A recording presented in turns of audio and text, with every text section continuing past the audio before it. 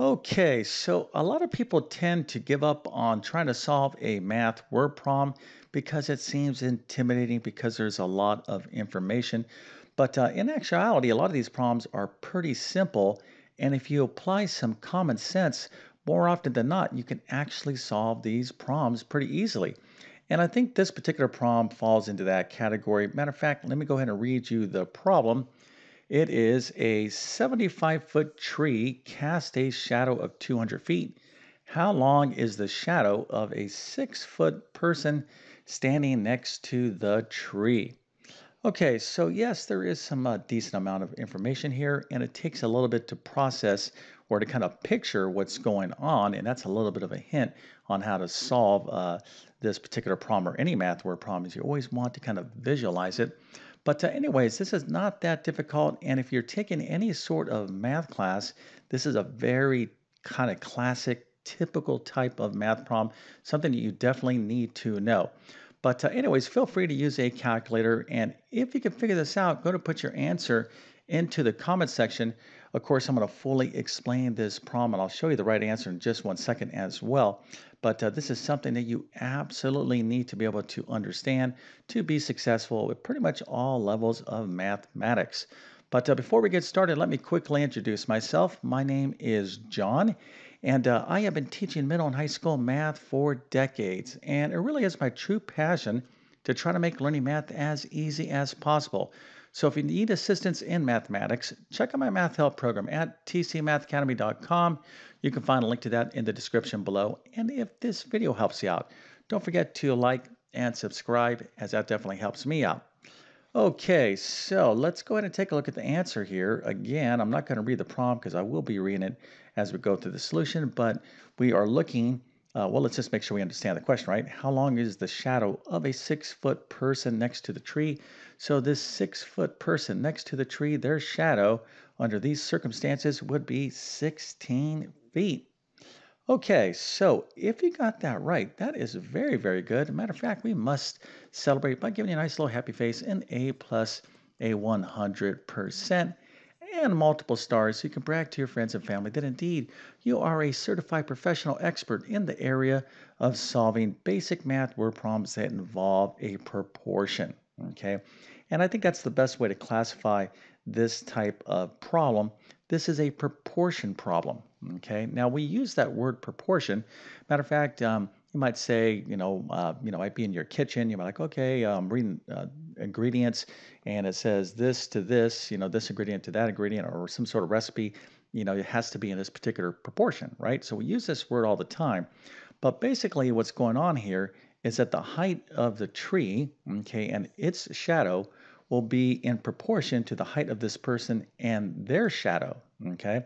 So basically, uh, this is a proportion problem, and you have to understand proportions. All right, this is a uh, kind of a, uh, an elementary basic math concept that's not that difficult. And if you're like, yeah, yeah, uh, that's easy for you to say, Mr. YouTube Math Man, because you're a math genius. By the way, I'm definitely not a math genius. I have a lot of math educations. I'm pretty strong, well, pretty a lot of math education, excuse me. But um, yeah, I have a degree in mathematics, a master's degree and whatnot. And it was pretty challenging to get that to, to get to that level. But I can tell you right now, uh, even if you don't think you're good in math, you can go so much further than what you think you are capable of learning. All right. So that's just a little bit of a uh, encouragement for those of you that think that you know, and I'll never understand this. Oh, you'll understand this and much much further. It's just all about getting great instruction and putting in the effort. But uh, again, if you are taking any sort of math course, right, pre-algebra, basic math, algebra, it doesn't make a difference. This is something that you should absol- absolutely understand. Okay, so let's go and get into the solution. And the first thing that we want to kind of review is that anytime you're dealing with any problem, especially a math word problem, I like to kind of use the rule of three. Okay. Now, what is the rule three? Well, you want to read the problem at least three times before you start doing anything. Okay, like you know, read the problem once, be like, okay, this problem has to deal with a shadow, a tree, a person. All right, just get a sense of it. Read it again, start getting some details. All right, we got a, uh, the height of the tree. I know the shadow of the tree, and oh, I got a six foot person, and they want to know uh, how long is the shadow of this person standing next to the tree. And the third time, you really get clear about what the question is. Okay, so don't start really try to engage a solution until you read this thing a few times. My suggestion is at least three times. Now, when it comes to uh, math word problems, matter of fact, any problem, it's very, very helpful to visualize the problem. That's a little bit of a hint that I kind of um, said in the beginning of this video. So when it comes to, again, math problems, right, uh, try to come up with some sort of sketch, some sort of model of the that represents the information in the problem because oftentimes when we visualize or we can see a visual representation of the of the um, the problem we can see the solution. Okay you can kind of visualize what to do here. So um, let's go ahead and take a look at the problem okay visually. Now this is the way I'm going to do it. We're certainly talking about you know a tree and a shadow so it's probably a pretty good idea a pretty good idea to just kind of sketch out a tree uh, you know here is the ground and here is its shadow. Now we're gonna we're gonna have to make some assumptions here and this is something that it wasn't stated in this problem okay? And it's something that you're going to have to interpret for those of you that are taking uh, any kind of math class, right? Because a lot of you can say, well, how do I know that this tree isn't going like this direction, right? Maybe the tree's bent, maybe a kind of storm came through, bent uh, the um, tree, and maybe the ground's not perfectly level. Well, listen, when it comes to math problems, right, go ahead and make the assumption that, uh, yes, this tree will be perfectly straight and perpendicular. In other words, it's going to form a right angle to the ground. We have to kind of simplify the situation, right? And I think, um, you know, you can take liberty by just making those assumptions, uh, especially if you're taking, again, any sort of math course, unless the problem states otherwise. Okay, so here we have a tree, it's 75 foot tall, and our sun is way up here shining. It's a beautiful day, and uh, the sun is casting a shadow uh, like so, right? So the shadow of this tree is 200 feet. Now we do have this person here, but this is kind of a start, right? So let's go ahead and continue on and finish up our sketch. So here is the situation. We have this 75 foot tree. It's casting a shadow of 200 feet. And then I have this uh, person that's six foot tall standing right next to the tree and we're looking for their shadow. Okay, this is what we don't know. But as I indicated in the beginning of this video, uh, the shadow from this tree, the, the tree's height to its shadow will be in the same proportion as the height of this person to uh, their shadow. Okay, so again, this is a proportion problem. And uh, if you were like, well, I'm not sure uh, how to you know solve this, well, I gave you a big kind of hint. You want to set up a proportion between uh, uh, you know, this um, information right here on this diagram or this little sketch. Okay, so if you think you know what to do, if you were a little bit lost, now you think you know what to do, maybe pause the video and see if you could set up the proportion that would represent uh, finding this unknown value right here. But of course, I'm going to show you exactly how to do this. This is not that difficult. But um, what we want to do is be super clear about the information in the problem. Okay. Again, we need to simplify. We need to uh, kind of uh, make some assumptions here that the tree is perpendicular to the ground. The ground's perfectly level, and this person is, you know, got like amazing posture, and we'll just represent them, you know, standing straight up and down, and their shadow is just like this, and so they're perpendicular to the ground as well. Okay, so here is essentially what we're looking for. We have six is to uh, we have 6, which is the height of the person, to their shadow, which is x. We don't know what this is. This is what we're looking for, but we do know the height of the tree to its shadow. We have the height of the person. We're looking for the how long their shadow is. Okay, and again, this information here, okay, will be in the same proportion because the sun is casting down its lovely rays, and whatever's standing, you know, pretty much right next to this tree is going to, their shadow, if it's perpendicular to the ground, is going to be in proportion to other things that are perpendicular out there. Okay. All right. So hopefully that makes sense. And I'm going to show you exactly how to set this proportion up and solve it. But before I do that, I'm going to ask you to please subscribe to my channel. And my channel is basically a big classroom. Okay.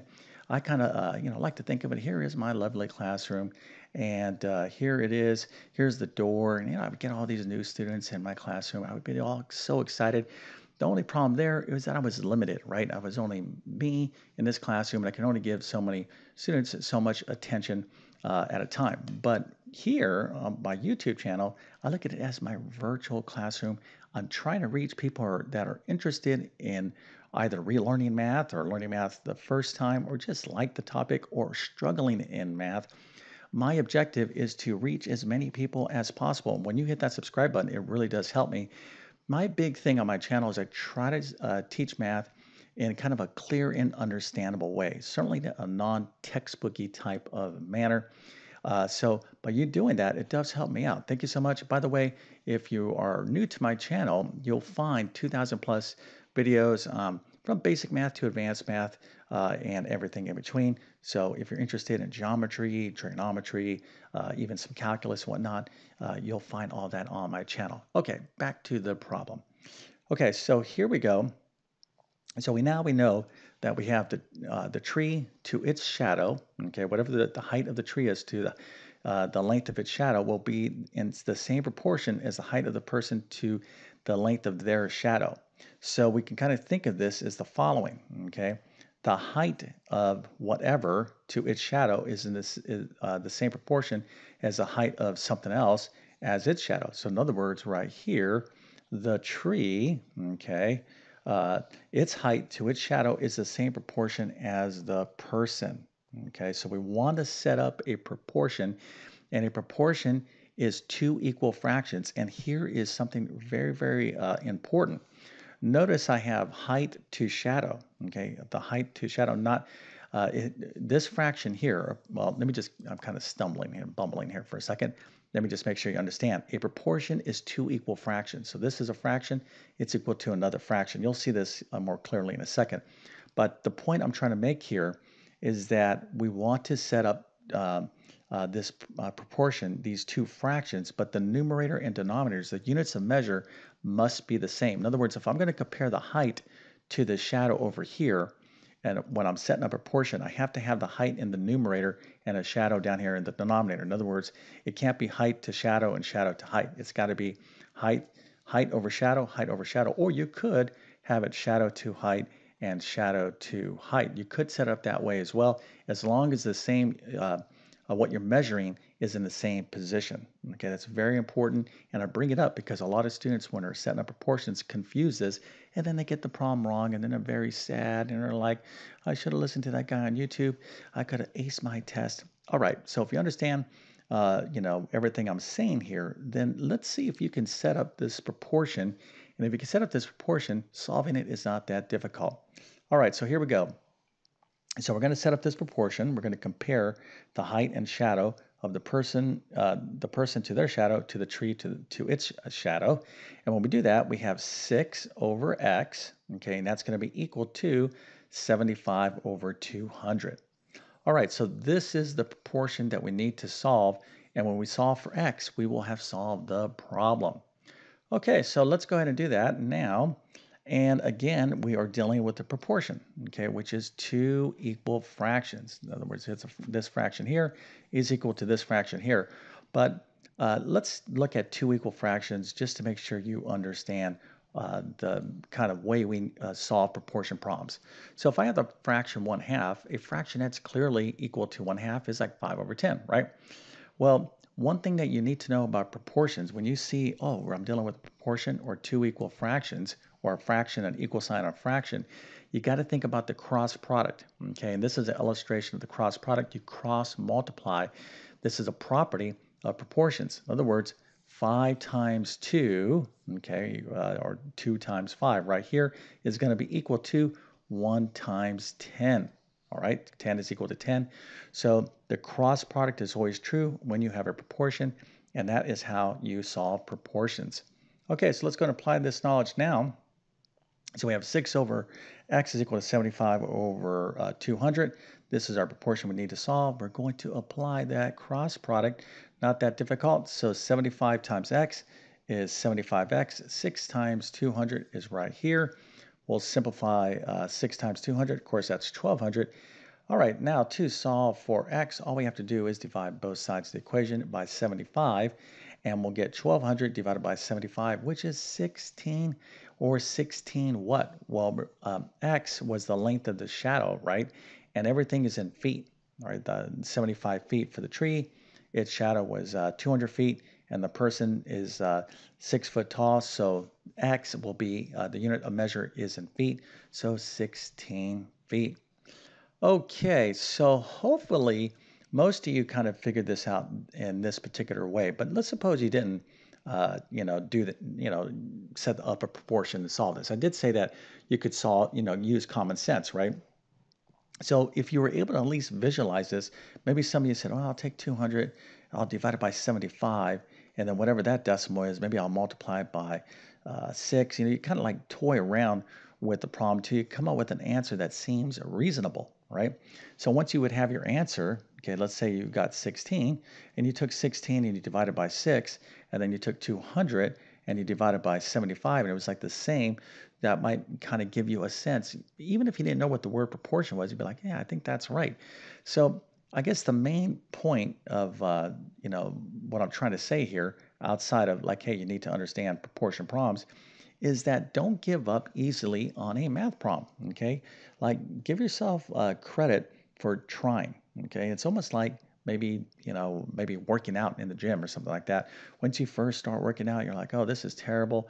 I'm not going to do this. But maybe after 5 10 15 20 minutes you start getting into the flow of things. Same thing with trying to solve a math word problem. Maybe in the beginning it's tough it's confusing uh, but as you know you keep trying you start seeing new paths uh, new kind of ways you can look at the problem or new kind of ideas oh maybe i can solve this so you know, that's a big thing when it comes to mathematics is that if you want to be successful, you cannot give up uh, too easily. Okay, sometimes it does take a good amount of effort to solve a math problem.